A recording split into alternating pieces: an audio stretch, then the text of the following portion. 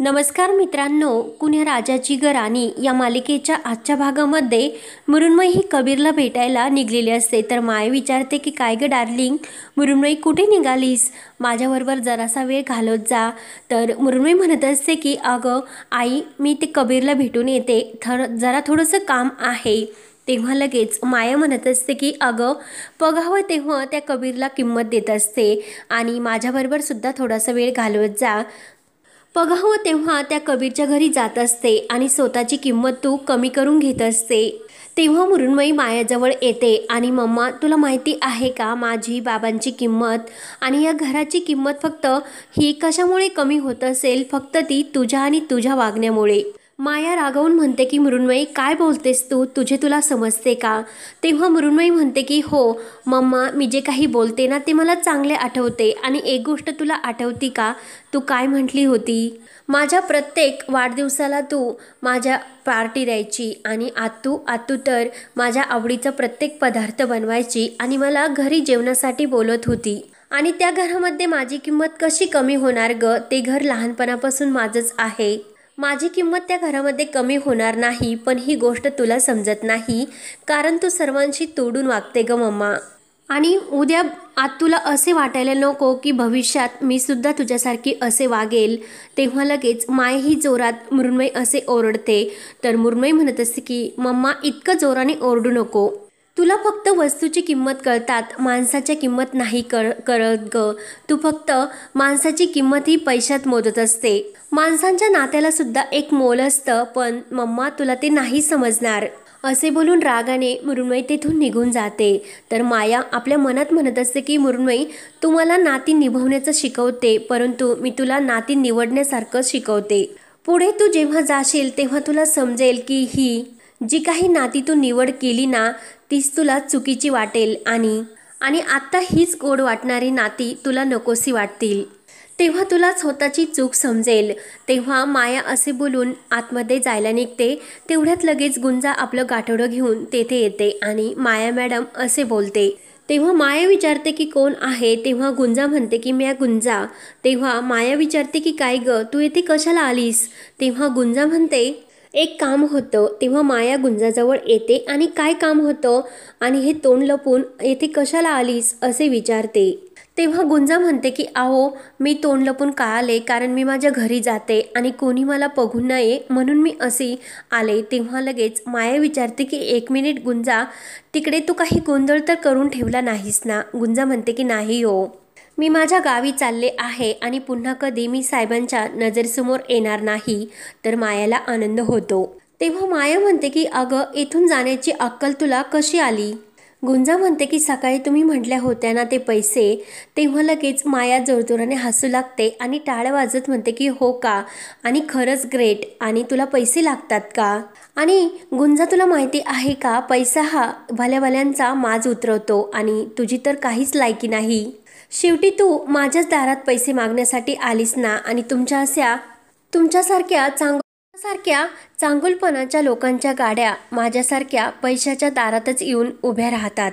शेवटी तू तुझी लायकी दाखवलीस आणि शेवटी आणि हे दहा लाख तुला लॉटरी लॉटरी लागल्यासारखे फुकटात मिळाले. तेव्हा गुंजा म्हणते की दहा लाख नको मला फक्त पाचच लाख द्या.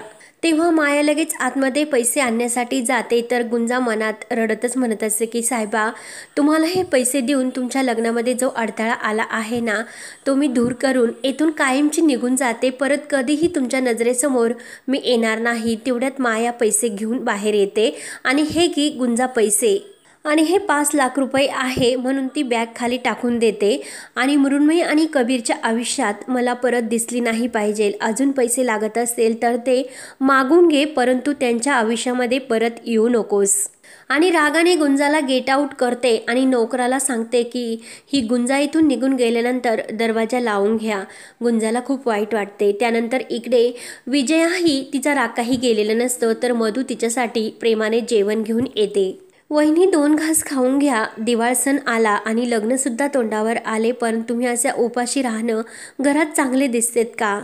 विजय म्हणते की चांगलं होण्यासारखं काही राहिलं का आता? तेव्हा मधुर रडतच म्हणते की वहिनी तुम्ही वेगळं होण्याचा निर्णय घेतला आहेस ना? मग असे भांडणतंडण करू नका. तुम्हाला जर वेगळं राहायचं असेल तर तुम्ही राहू शकता. तेव्हा मृण्मयी आई हे सर्व ऐकत असते दरवाज्यात आलेली असते. मधू म्हणत असते की असं तोडफोड करण्यापेक्षा गोड गुलाबानी आपण वेगळं होऊयात. घरं तुटतायत ते तुटून द्या परंतु आपल्यातील नाती हे तुटायला नकोत.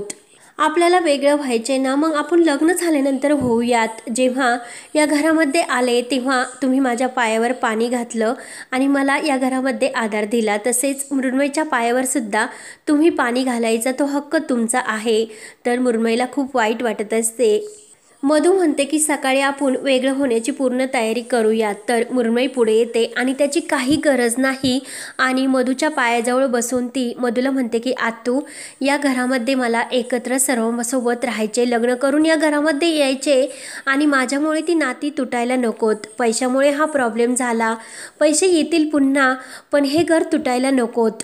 जे बाल बालपण आपल्याला परत येत नसते ते बालपण मला तुमच्यासोबत सर्वांसोबत घालवायचे आणि मला या घरामध्ये येऊन ती नाती जपायची. तेव्हा कोणीही हे घर तोडू नये असे मला वाटते. तेव्हा मधू म्हणते की काही निर्णय असे असतात की मनावर दगड ठेवून ते घ्यावे लागतात आणि वहिनींनीसुद्धा मनावर दगडच ठेवला असेल म्हणून इतका कठीण निर्णय त्यांनी घेतला असेल. आपण त्यांच्या आधाराला मान देऊन त्यांचा हा निर्णय ऐकायला हवात तर मृण्मयीला वाईट वाटते. त्यानंतर इकडे गुंजा रोडने पैसे घेऊन येत असते आणि मी माझ्या नशिबात कधी पाच रुपयापेक्षा इतके पैसे बघितले नाही. मायाताईंनी तर एका झटक्यात मला दहा लाख रुपये देऊ केले होते परंतु इतक्या पैशाचं मी काय करणार? माझ्या साहेबांच्या लग्नासाठी इतके पैसे पुरेसे आहेत. हे पैसे मी घराच्या बाहेर ठेवते आणि न चोरून सर्वांच्या तेथून निघून जाते. बायका आपल्या नवऱ्यासाठी काय काय करतात आणि माझ्यावर ही काय करण्याची वेळ आली?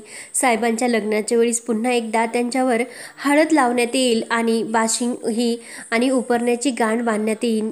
आणि त्या उपरण्याला बांधलेले गाठीचा पदर फक्त गुंजाचा नसेल म्हणून गुंजा आणखीन रडत असते. यावेळेस मात्र नवरी घरात घेऊन येताने साहेबांच्या तोंडावर तो आनंद असेल. त्यांच्या मागे सात पावलं चालणाऱ्या नवरीच्या तोंडावर कसली भीती नसेल. लाज असेल गुंजापले डोळे पुसते आणि देवी आई त्या दोघांचा संसार सुखाचा कर म्हणून देवी आईला हात जोडते.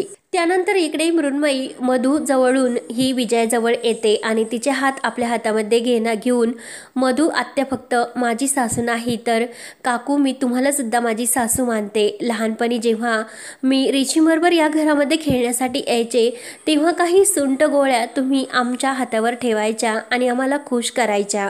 आणि त्या गोळ्या तुमच्या हाताने परत मला हव्यात. आणि ते नातंसुद्धा आणि कविता तर माझी जाऊ आहेत परंतु या घरामध्ये आल्यापासून ती माझी मैत्रीण बनली.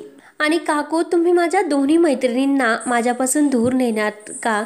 तर मृण्मयी रडत हे सर्व विजयाला विचारते. विजयसुद्धा रडत असते आणि मधूच्या डोळ्यातसुद्धा पाणी येत असते. मुरुणमयी हात जोडून विजयाला विनंती करते की काकू माझ्या जवळची नाती माझ्यापासून प्लीज हिसकावून घेऊ नका हो.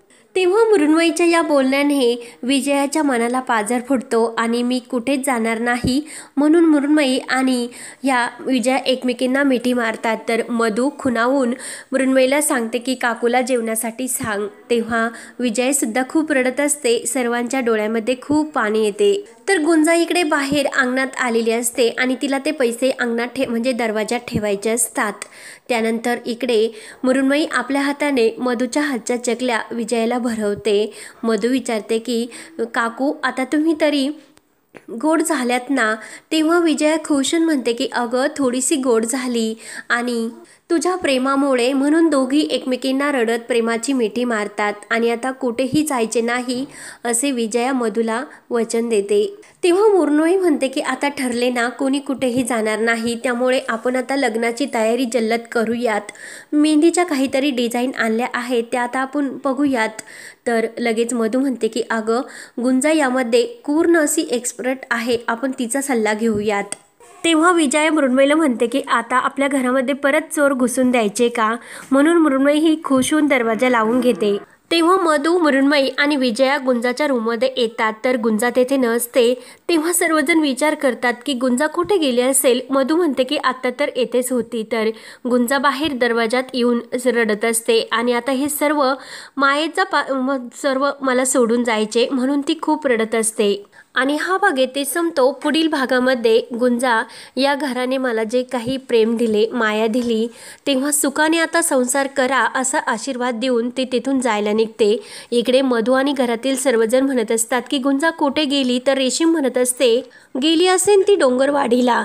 तेव्हा कबीर म्हणतो की गुंजा डोंगरवाडीला जायला नको कारण तेथे तिच्या जीवाला धोका आहे. तेव्हा सर्वजणांना टेन्शन येते. तर मधू म्हणते की कसला धोका? त्यानंतर इकडे गुंजाही रोडने जात असते आणि कबीर आता तिला शोधण्यासाठी येणार असतो. तर पुढे काय काय होत राहणार हे पाहण्यासाठी चॅनलला नक्की सबस्क्राईब करत रहा. धन्यवाद.